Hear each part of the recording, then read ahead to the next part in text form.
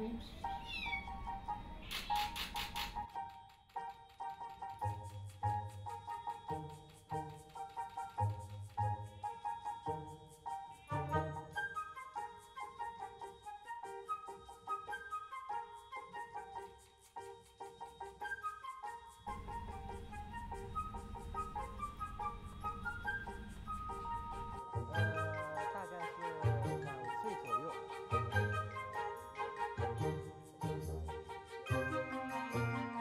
去世的时候，我当时是非常的伤心啊，因为我无法去面对这个事实，因为他是突然性，可以说是突然性死亡啊。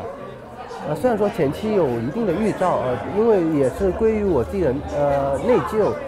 我自己的自责，呃，我没有及时的去带他去医院啊，所以才导致了死亡，所以我当时也是挺懊悔的。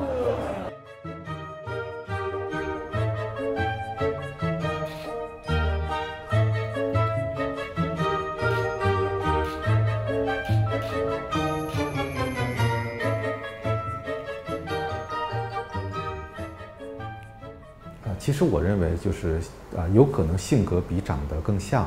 啊，然后因为性格的形成确实有一部分是这个基因的遗传，有一部分是外界的因素啊，所以说呢，就是随着生长环境改变，有可能性格会有一点的差别，但是它有很多特别相近的地方。